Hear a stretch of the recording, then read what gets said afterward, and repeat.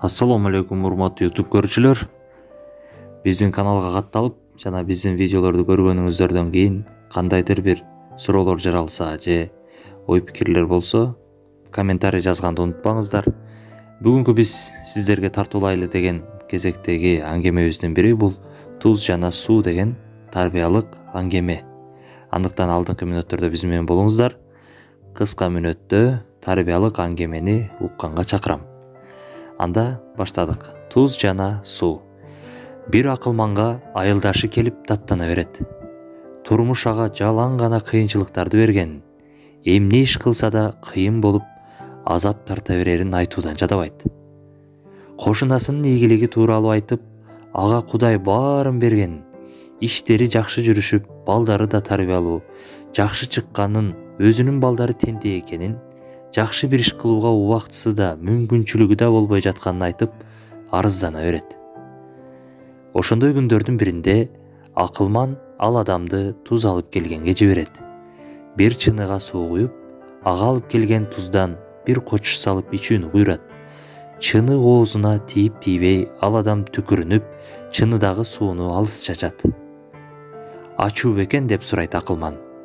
Ии аябай ачуу экен дейт анда айылдаш эми жүр деп анча алыс эмес жердеги көлгө алып барат да көлгө бир кочуш туз салат эми көлдүн суусунан ичип көр дегенде ал адам эңкейип сууну канганча ичет суунун даамы кандай экен? Туздун даамын байкадыңбы деп сурайт андан. Суунун даамы сонун муздак экен.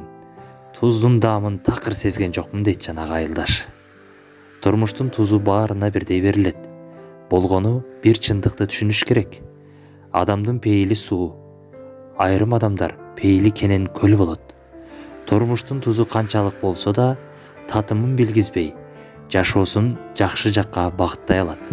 Ал эми ичи таар башкалардын ийгиликтерин көрө албас адамдар чыныдагы суудай болот.